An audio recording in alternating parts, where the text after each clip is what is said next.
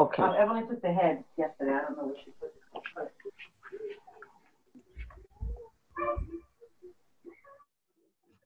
Hello, everyone.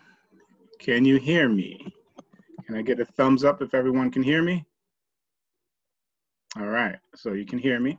Uh, my name is Eric Esteves, and I'd like to welcome you today uh, to our informational session. Uh, I'm the Executive Director of the Lenny Zakim Fund. Um, this is an informational session about our 2021 grant cycle. So uh, this is being recorded and the recording will be shared um, for those who may have registered but were unable to make it. And I am going to start sharing. So I'm sharing my screen. Um, just want to thank all of you for being here today. Um, and really, this will be fairly quick. It will take up less than an hour. Just wanted to provide you some uh, overview information about the Lenny Zakim Fund, what we're all about, um, about what the types of organizations that we typically fund, and also um, our process, our process currently. So the fund was uh, established in 1995 by Lenny Zakim. Uh, you may have driven across the Zakim Bridge. It's named after the same man. Uh, he was a local civil rights activist, uh, former head of the um, New England um, ADL. And uh, really, he was all about um, empowering grassroots organizations. And our mission is really focused on addressing social, racial, and economic justice. The Zakim Fund has seven primary funding areas that, in essence, are pretty all encompassing. Access to food, housing, and economic security, child and youth development and education, civil and human rights advocacy and support, health promotion and accessibility for all, LGBTQ community support and organizing, organizing and support for immigrants and refugees, and lastly, violence prevention, criminal justice reform, and family outreach. So while not everything under the sun, a whole lot of things. The grantees that we typically have funded over the last 25 years, um, our organization is led by people from the communities they're um, impacting. Uh, we have a very laser focus on small grassroots organizations. So that means that um, the budget, the upper limit of budget sizes is currently 350,000. Um, so you may have noticed in the guidelines, if you are at or approaching 350,000 in terms of your budget size, you may want to just reach out. So depending on the volume of applicants, um, we do skew towards those organizations that are smaller in size. You have to be located uh, with significant work in Eastern Massachusetts. And given the budget constraints, usually those organizations have little or no full-time staff. Some are mostly volunteer run, some have several staff, but uh, still small in size. Um, and to give you some numbers, um, so over the last 25 years, we've funded uh, more than 400 organizations. Uh, this $614,000 number here is for 2020. Uh, that was our annual grant amount for 55 grantee organizations. Um, however, this year has been a banner year for us in terms of grant making, uh, unfortunately, due to the COVID 19 pandemic and crisis. So, in addition to our normal grant making, we were able to raise and then have granted out close to 350,000 in emergency grants which means for 2020, this is the first time in our 25 year history that we've exceeded a million dollars in total grant making. So just to, uh, just wanted to provide that to give you a sense of our numbers. Uh, let's see, next slide, all right. Um, so in terms of the process, our guidelines are provided on the website um, as well as in Fluid Review, uh, which is the online tool and system that we use um, to manage the application process. Our grants range from a, usually about a thousand dollars the lower end up to a maximum of twenty thousand dollars. So we're, while we're not a huge funder, uh, we do um, have a particular niche where we focus on small grassroots organizations and also provide more than just funding. And I'll get to that in a little bit. Um, another thing that's um, unique to us is that our, our, organizations are eligible for up to five years of consecutive funding. You'll see it says pending review. We've even streamlined our processes even more this year so that it's really a, you know, essentially considered a multi-year grant for up to five years. And the reporting process is now going to be a part of the renewal application um, as opposed to having um, current grantees reapply every year. And most, if not all of our support is unrestricted general operating. So that's really been our focus to not be too prescriptive in what we're funding, but really recognizing your need. And once kind of you, you, you, an organization moves forward to be funded, um, not dictating what those funds to, are to be used for. However, we do not support the following things conferences, sponsorships, uh, film, video, or print projects, requests from individuals, research, development, or planning grants, and capital campaigns. And I'll, I see a couple of questions are popping up in the chat, and I'll get to those um, shortly. One of the other things that the Zakim Fund has been known for many years is our capacity building support. So in addition to the grant making, we offer, um, we offer several types of capacity building support. One is technical assistance training. So we offer a variety of workshops, seminars, and professional development institutes uh, each year where we offer um, trainings uh, that are facilitated by expert guest speakers, some of whom are nonprofit and grassroots leaders themselves on a variety of topics. And those include things like financial management, fundraising, uh, board governance, um, recruitment, marketing, so a host of kind of functional skills and nonprofit management topics that are essential for organizations to grow and thrive to, to become stronger and also ultimately seek out even larger funders. Another thing we offer through the support of our host, DLA Piper, which provides our office support and back end, is pro bono legal services. Um, so that's something that several of our grantees or grant recipients over the years have uh, utilized and benefited from. Uh, and it's something that we're able to offer through DLA Piper. Uh, also, we provide mentoring and coaching. So uh, this uh, in June, we wrapped up uh, and concluded a, a, program called the Transformational Leadership Cohort Program, or TLC for short, and really was a, a program focused on cultivating and developing leaders of color or from marginalized groups um, to help really enhance their leadership skills. Um, and then also we do some kind of more one-off mentoring and coaching as well outside of the program. And lastly, networking. We try to be as helpful and, and useful as possible to our grantees um, by connecting them to other um, organizations, resources, consultants, donors, and networks, et cetera. So for the grant application process, it's pretty straightforward. Uh, the applications currently are due September 1st. So if you've applied before, this is kind of a later date than, than we've had in the past. Uh, so essentially on, on the back end, we've condensed our time frame um, and, and put September 1st as the deadline for applications. And that's really stage one. Um, after stage one, um, we kind of make preliminary decisions and then move towards a site visit stage. This year, as you may have expected, site visits likely will be Zooms or uh, phone calls. If you're not Zoomed out already, um, just know that that likely will be how we handle site visits this year. And site visits, uh, we try to we try to engage in a process called participatory grant making, where we have not only board members and staff as a part of our site visit and grant review process, but we also have external community members. So we're also seeking um, new additions to our what's called a community investments committee so that we have more and fuller representation um, of people doing those uh, site visits and reviews. And lastly, our final review stage, stage three, uh, concludes at the end of January. And that's really because we're, we're not a typical foundation. Uh, the Zakim Fund is really a public charity. So we do fundraising in order to do grant making. So once the year concludes, uh, we do an assessment and are able to make the final grant decisions for 2021 at the end of January.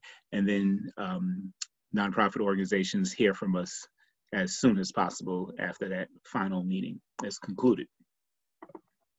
So this is kind of just a visual uh, representation of that grant process with the initial stage, um, applications, um, and then the site visits, calls, and meetings, and then a final review, and then decisions in 2021. The grant application is pretty straightforward. Uh, we've even tried to um, streamline it this year so that there's less information that you have to submit. Our hope is to continue to do so over the years so that it streamlines the process. It minimizes the burden on you in terms of how much information needs to be submitted uh, in order for us to do a proper uh, review. So the cover page and request form really asks for kind of basic organizational information, mission, contact info, uh, categories, and where you serve. Uh, we try to be uh, uh, representative of different communities, but also um, uh, enclaves in Eastern Massachusetts. So you may notice that we fund heavily in the Boston area, but also we have organizations that we funded in Gloucester, Lowell, Lawrence, New Bedford, uh, Worcester, Attleboro, Fall River, and Brockton. So pretty expansive. Um, so we, we try to be intentional and pay attention to where you are located or at least where you provide your services or programming. And also if you are fiscally sponsored or not. And then our narrative, narrative questions asks uh, things like what is your, what is the focus of your work? What type of programs do you run? Um, how many people do you serve? Uh, and then the budget information really is about your P&L, so your profit and loss statements. Uh, if your fiscal year ends June 30th, you only need to submit one. Um, but really, it's to get a, a sense of your financial health. So, in one way, we look at that information to assess kind of where you are as an organization. But we also start looking during the application process towards organizations that could stand to benefit from some of the capacity building training and workshops that we offer. Uh, we also asked for staff and funder information. So the staff and board information is really, um, it captures kind of um, the health and governance of your organization. But for us, uh, to be transparent, it's about also collecting demographic information. We want to try to ensure we have a good sample of organizations that are being funded in our portfolio that are represented by people who are reflective of the communities being served. Uh, you may have noticed in the guidelines for 2021, we also have a priority on organizations led by people of color or who have more than 50% of people of color in their leadership roles. Uh, that's not to the exclusion of non-people of color, but uh, we just want to be more explicit in um, a funding priority of ours that has always existed, but wasn't necessarily always spelled out. The timeline is uh, provided here below for those who can't see it. Uh, this is the second grant information session today. Applications are due by September 1st, and then September through December is really kind of our review process. Uh, and again, we it's not just the staff or the board that's doing the reviews. We engage other external community members and committee members to do a variety of reading, phone calls, site visits, and many of those will be virtual this year. For current grantees, their grant reports are due in mid-December, which then serves as their renewal application. And then early February is when we do a notification of um, 2021 grants. And you may have heard that annually we have an award ceremony, which was unfortunately canceled this year um, because it was you know just two weeks before everything shut down here in Massachusetts. Uh, but currently we're planning for February 25th uh, to have an award ceremony again. And that's really a way to recognize um, our 2021 grant recipients, provide kind of some extra uh, media coverage uh, for those grant recipients, but also highlight the work of some of our um, uh, nonprofits as well. Fluid Review. So Fluid Review is the online tool and system that we use. Um, you may have already accessed it and set up an account, uh, but really it's our grant portal. Um, you, you create an account using an email address. Um, you create your own password. Um, our the uh, URL or the web address for it is LZF, which is our initials, dot fluidreview.com. And we highly recommend that you do not use Internet Explorer. Uh, with Fluid Review, if you do encounter any technical problems, you can try reaching out to the Zakim Fund staff, but we highly suggest you contact the Fluid Review uh, help desk because they're very responsive, but they also kind of just have all the information and answers to anything, any technical glitches in Fluid Review. Uh, in Fluid Review, you'll notice that it asks for different um, buckets of content. We, we break it up so that you can also track your progress. It tells you when something has been started or not, and then when something is completed. Um, so as things get uploaded, it's a way for you to keep track. It's almost like an online checklist as well for what information still needs to be submitted in order to complete your full application. So now on to some frequently asked questions before I open it up to questions from the chat and then um, in live as well. Um, one question is my organization's budget is over or nearing 350,000. What are my chances? Um, a very upfront answer is slim. So again, I, I shared earlier, we skew towards small grassroots organizations.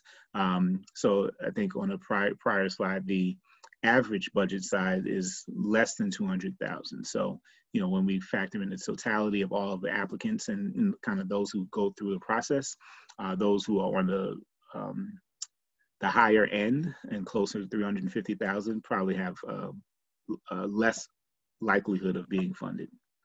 Uh, the TA that we provide, the technical assistance, includes workshops around uh, finance, uh, around um, board governance and board responsibility, especially uh, fiduciary responsibility, fundraising. We've offered some workshops around that already, um, uh, marketing, and and also program management as well.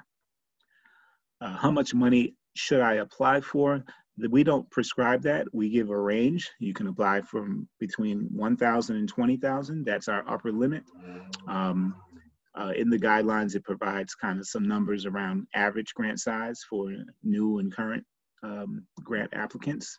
Um, but we don't prescribe how much you should apply for. Um, we, we, we urge you to kind of um, come up with the number that makes sense for your organization. Uh, if you don't have a board approved current fiscal year budget, I highly recommend uh, submitting what you have and work work uh, working from. Um, and then lastly, uh, if your fiscal year ends June 30th, no, you don't need to send both um, a year to date and a full year profit and loss statement. Um, so just one um, of those should suffice. And with that, um, I'll leave this last slide up, it says, please contact us at office at org. And what I'll do is open the floor up to questions. So um, please give me a second and I will start going through some of the questions that have been submitted. Um, so if our budget is 300K, should we reach out? Uh, yes, I think it's, it's reasonable um, to reach out. Um, my colleague Dominique is also on this webinar and is available. And we we um, both check the office email address um, to schedule. We can schedule a quick call just to touch base. We don't um, we don't uh, turn down anyone from applying. You're welcome to apply, but really for us, it's just providing kind of a heads up around just so you know, you know what our numbers look like in terms of average uh, budget sizes for those who do end up getting funded over the years. Uh, if we have a fiscal agent, are we eligible to apply? Yes. Um, any organization that either has its own 501c3 status or is sponsored by an organization that has 501c3 status is eligible. Um, uh, we just recommend providing both your own budget details and that of your fiscal sponsor so that we can clearly distinguish between the two. Uh, if our program is new and we haven't reached 150,000 as of yet, are we eligible to for the grant opportunity? Um, so yes, that's yes, 150,000. Yes, that's under our budget cap. Um, you you are eligible, and you don't necessarily have to have a fiscal agent if you have your own 501c3 status. Another question is if our mission includes significant port, portions of multiple mission areas found in the grant application. Should we just pick one of those areas? Uh, yes, you can just pick one area. Um, you, you don't have to. Uh, we don't want organizations to feel like they're being pigeonholed. Um, if there's an area that most represents you, um, I believe there's an option to select multiple, um, but we, we, we're not prescriptive of what mission area you should fall under. Uh, we try to be mindful of the balance of organizations that do get funded and that fall into um, our mission areas, but sometimes we have mission areas that have um, much more organizations funded than other areas. And that's also just uh, due to the nature of uh, the work and the programming that exists, and you know that that fluctuates each year. For example, this year we might see a whole lot more around uh, health um, given uh, COVID-19. Could you describe in more detail what is meant by bottom line budget numbers? Um, I don't think I'm clear on what you mean by bottom line budget numbers. Um, but essentially, the budget that your organization is working from um, as you kind of you know assess your budget to actual um, that that's the type of information we look for. So, you know, what was your budget and then how does the budget to actual compare? Uh, thank you for the transparency around who you're looking to support. Well, thank you for joining us. Um, I have another question is I have tried to set up an account in order to obtain a grant application, but I never received an email when I tried the second time, the message stated I already have an account, please advise.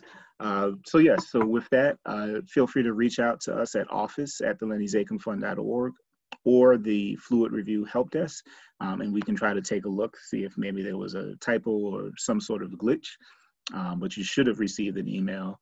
Um, and then also you might want to check your junk mail folder just in case, uh, because when you um, sometimes when people create accounts for the first time, it may end up in that junk mail folder um, as an unrecognized sender.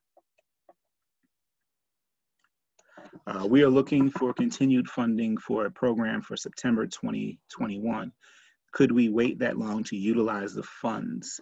Uh, yes, so when you are funded uh, by the Zakim Fund, they come in as unrestricted general operating support.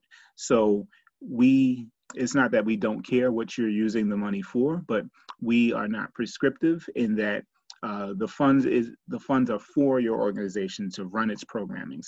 Um, ideally, it's being used for during the 2021.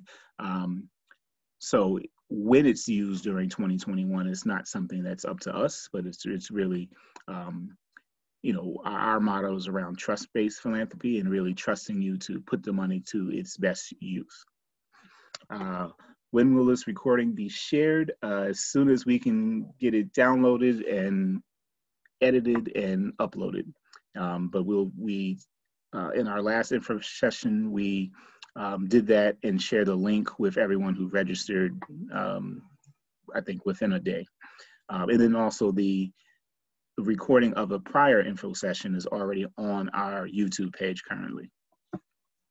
Uh, next question, can you give some kind of idea of how likely it would be for orgs who have applied in the past and have been denied to then get funded after reapplying?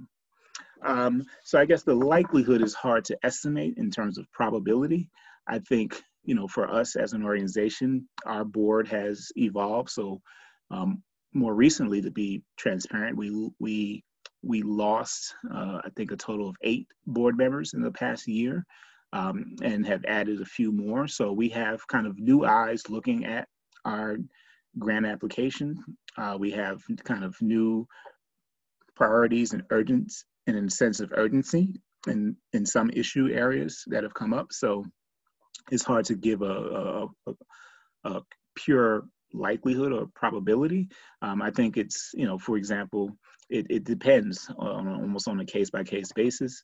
I had a conversation with a, a, organization yesterday who had applied previously and been denied to really get a sense for what's changed. So, you know, if you're an organization that um, applied before, um, what we try to do and strive to do is give feedback um, when organizations are denied uh, on, on ways in which they could likely strengthen their grant application. While I wasn't here for the prior process and years before, um, we certainly can try to go through, you know, old documentation to give a sense for how might your grant application be improved so that it either you know, provides more clarity because sometimes a denial is based on clarity or a lack of detail um, or or you know just some content that may have been missing that would have added a fuller picture of your organization. Uh, another question is, I have an account on Fluid Review from other foundation applications.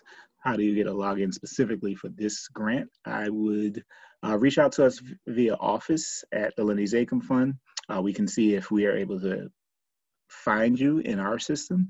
If not, that would be a question for the Fluid Review Help Desk, whether you can use the same account on for multiple uh, funders in Fluid Review. That I'm not sure, but they can certainly give you an answer around that.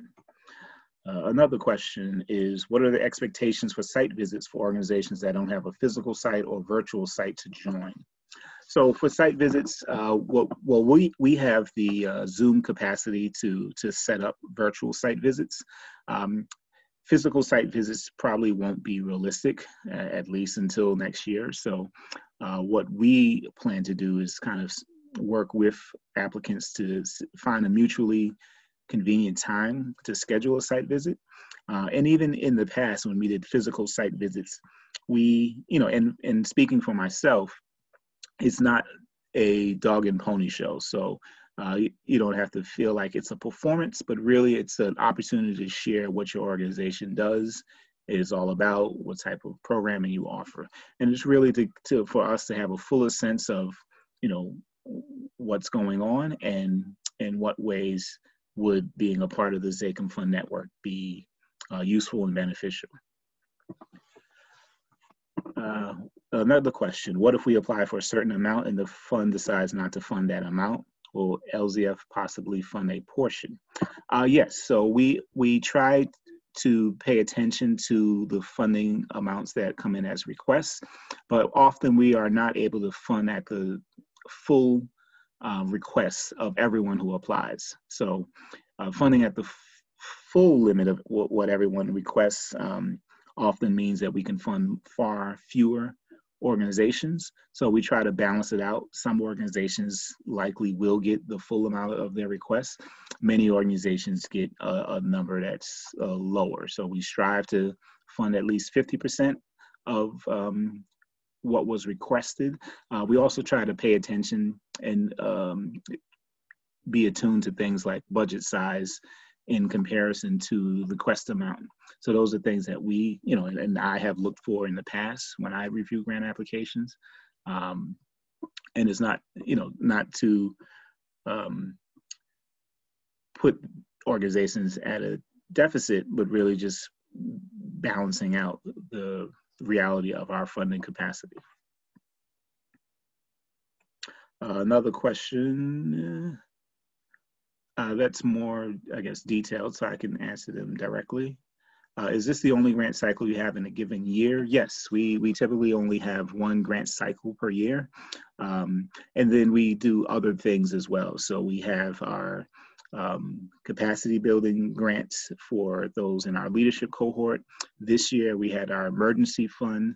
Uh, in past years, um, we've had an emergency, emergency grant pool of funding available um, for kind of unforeseen emergencies. It was, you know, it certainly expanded and exponentially this year, um, but typically our regular grant cycle is just once per year.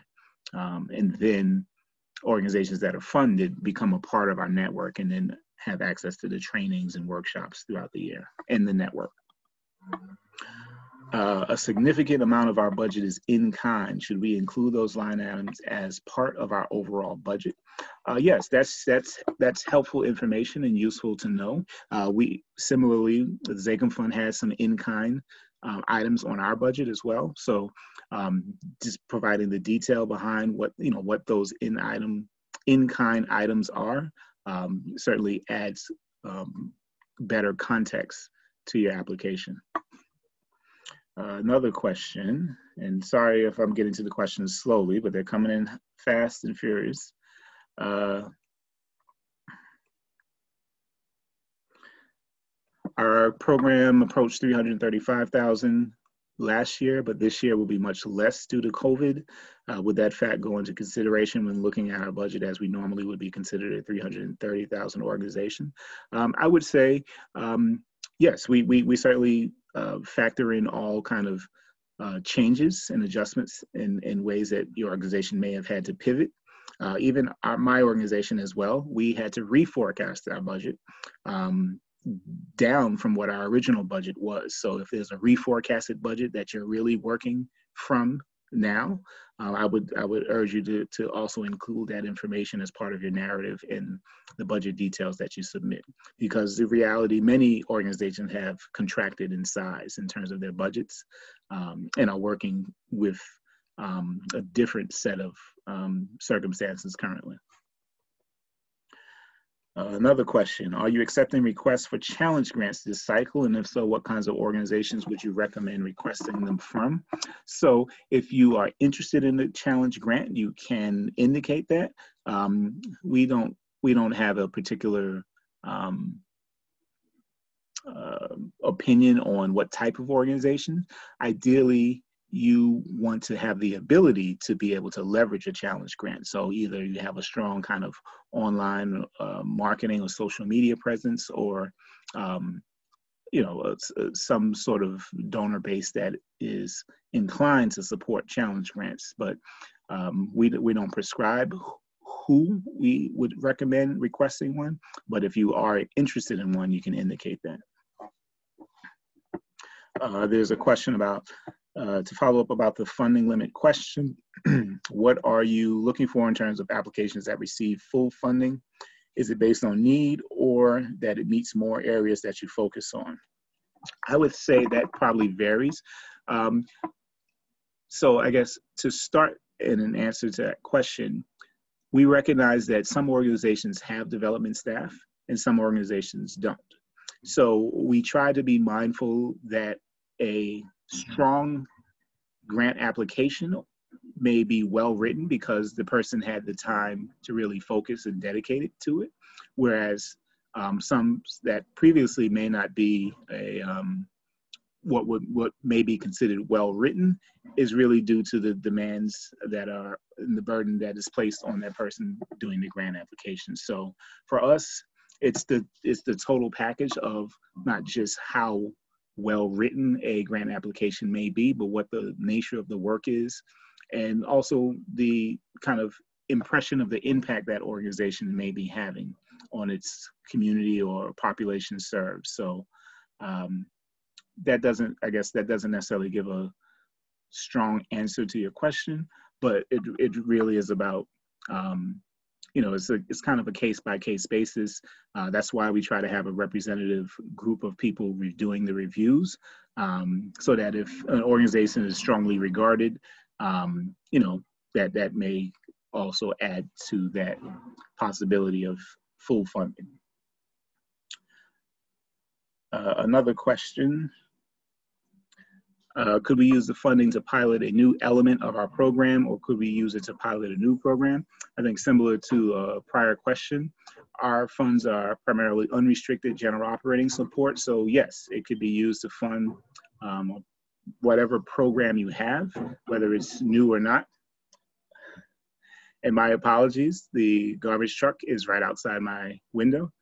Um, but yes, we unrestricted general operating support, so we don't prescribe what program it should be used for, whether it's new or existing.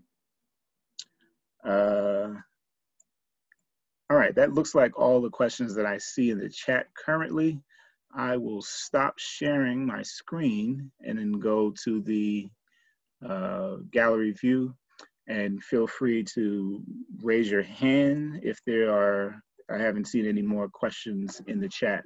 Um, and I can call on someone and unmute you if you have another question that I didn't get to yet. And I'll give you a little bit of time. I don't see any hands, but I want to be respectful of people's time. So I'll, like an auctioneer, I'll say going once, going twice. And that'll conclude today's informational session. Um, we'll be sure to get this um, downloaded, edited, and posted to our YouTube, and we will share a link um, as well as a PDF of these slides. And feel free to reach out to us, uh, myself, um, or Dominique. Dominique, can you wave? Um, if you have any further questions or there was something that we didn't um, answer uh, thoroughly. And with that, I hope all of you have a wonderful day.